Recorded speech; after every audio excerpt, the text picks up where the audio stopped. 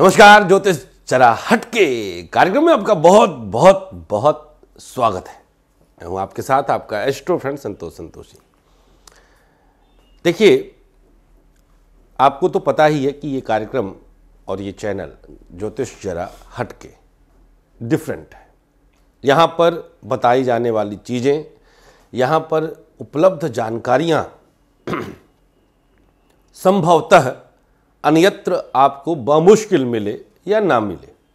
बहुरत्ना वसुंधरा मिल भी सकता, मैं नहीं कहूँगा, लेकिन बमुश्किल मिले, बहुत कठिनाई से। जहाँ तक मुझे लगता है कि ज्योतिष सतत शोध का एक विज्ञान है, यहाँ पर मैंने अब तक अपने ज्योतिषीय कार्यकाल में, जो 22-23 वर्षों का है, कभी भी कुछ भी फिक्स नहीं देखा है। केंद्रस्थ बृहस्पति यही फल देगा, फिक्स नहीं है। केंद्रस्थ शुक्र यही फल देगा, फिक्स नहीं है। इसमें बड़ी सारी चीज़ें मायने रखती हैं, मैटर करती हैं। जैसे, फॉर एग्ज़ाम्पल आपका स्थान, आप कहाँ पर रहते हैं? कौन सी दिशा में रहते हैं? उस दिशा के किस शहर में रहते हैं? उस शहर के किस कोने में रहते हैं? उस कोने का कारक ग्रह कौन सा है? आपका कुल, आपका धर्म, आपका, ये सारी चीज़ें मायने रखती हैं। अब आप कहेंगे जाति, आदि व्यवस्थाएँ तो यहाँ पर बनी हैं, ऐसे कैसे फिर? बट होती हैं, क्योंकि उन जाति के आधार पर तमाम तरह के कर्म अलग अलग तरह से निर्धारित होने लगते हैं। जैसे कोई ब्राह्मण कुल में है तो यज्ञोपवीत धारण करना संध्या वंदन करना हवन जाप करना मंत्र जाप करना मांस मदिरा आदि दुर्व्यसनों से दूर रहना ये तमाम चीज़ें आ जाती हैं। अब जैसे एक आ, कोई जैसे जो लाश जलाते हैं हमारे यहाँ डोम कहा जाता है। अंग्रेज़ी अंग्रेज़ी में क्या बोलते हैं मुझे नहीं पता है। अब उसके लिए और एक मंदिर के पुजारी के लिए दोनों का बृहस्पति क्या समान फल देगा? ये प्रैक्टिकली लॉजिकल लगता है क्या आपको? नहीं। ज़मीन आकाश का अंतर रहेगा। बहुत बड़ा अंतर रहेगा। तो ये बहुत सारी चीज़ें होती। मैं आप लोग को ये इसलिए बता रहा हूँ क्योंकि ये चैनल हमारा डिफरेंट है। इस चैनल पर जो मैं आपको विषय लेकर के आता हूँ, ये आपको पुस्तकीय विषय नहीं लगेंगे। इस चैनल पर जो मैं आपको पाठ्यक्रम जो मैं पाठ्य सामग्री देता हूँ, ये आपको बहुत अलग लगेगा, बहुत डिफरेंट लगेगा। तो ज्योतिष के एक ऐसे एंगल को मैं टच करता हूँ, जो एंगल आप कहीं टच कर ही नहीं सकते। ज्योतिष किताबों में नहीं, ज्योतिष हृदय में बसता है। ज्योतिष मस्तिष्क में बसता है। ज्योतिष एक प्रकाश है। प्रकाश का कोई अंत नहीं होता प्रकाश अनंत होता है। ज्योतिष भी अनंत है। आप सोचो कि ये किसी ने अपने विचार किताबों में लिख डाला तो यही ज्योतिष है। अब किसने लिखा? कहाँ से लिखा? शोधित है या उसने भी किसी का नकल किया था? ये नकलचियों का जो जमात है, ये ये ये ज्योतिष को ना बदनाम करके रख देते हैं।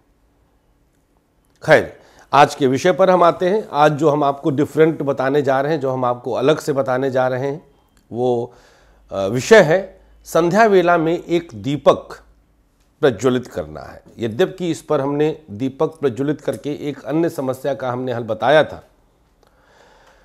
बट आज जो हम आपको बताएँगे प्रयोग, ये खास तौर पर दो खास ग्रहों को बैलेंस करने के लिए बताएँगे। एक ग्रह खास तौर पर शनि, दूसरा ग्रह खास तौर पर राहु।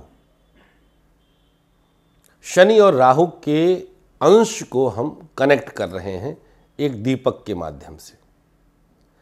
दिन ढलने के बाद मिट्टी का एक दिया ले लीजिएगा और दो मुँह की बत्ती, जैसे एक बत्ती होती लंबी वाली, उसको आप लंबा कर लें, दिया के दोनों छोर पर निकल जाए वो बत्ती। सरसों का तेल डालिएगा और एक चुटकी काले तिल। और माचिस की तीली से थोड़ा सा काला नमक। दो चीज़ें डाल दीजिए। ठीक? इसके बाद दोनों बातियों को जला दीजिए और जला करके घर से बाहर, घर के अंदर नहीं घर से बाहर, पश्चिम दिशा में किसी भी पौधे के नीचे रख दीजिए। यह प्रयोग मंगलवार और शनिवार को करना बेहतरीन शुभ होगा। लाभ क्या होगा? कुंडली में उपस्थित वक्री शनि के अंश को खत्म करेगा। क्रूर ग्रहों का वक्री होना उनकी क्रूरता को बढ़ा देता है। बहुत सारे कुंडली में आप लोगों ने देखा होगा, वक्री शनि है। अब वक्री शनि के कुछ सिम्टम्स हम बता देते हैं, जिससे आपको अंदाज़ा लग जाएगा कि शनि आपका वक्री है। जैसे, मान लीजिए कि आपने किसी कार्य के लिए विचार किया, ठीक? आपने वो काम किया, बहुत लगन से, शिद्दत से, मेहनत से, ईमानदारी से, पवित्रता से किया, बेस्ट दिया। बट फिर भी वो काम उल्टा फल दे दे वो काम उल्टा फल दे दे अब ऐसी स्थिति में आपका शनि, आपके जन्मांक का शनि निश्चित रूप से वक्री होगा, इसलिए आपको उल्टा फल मिला। नंबर दो, आपके सकारात्मक इंटेंशन को नकारात्मक सोच लिया जाए।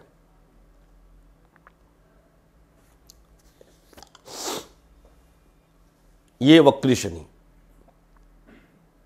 आपका इंटेंशन बहुत सकारात्मक था। बट उसको सोचने वाला, सामने वाला नेगेटिव सोचा। नकारात्मक है। क्या करना है? मिट्टी का दिया लेना है, सरसों का तेल डालना है। एक बाती दोनों तरफ़ से निकल जाए मतलब दिए में एक तरफ़ इधर उगे, एक तरफ़ इधर।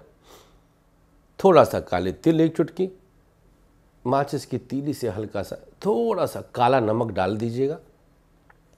बाती जलाइए, घर से बाहर, पश्चिम दिशा में किसी पौधे के नीचे रख दीजिए। मंगलवार, शनिवार, सूर्यास्त के बाद कभी भी किया जा सकता है पूरी रात।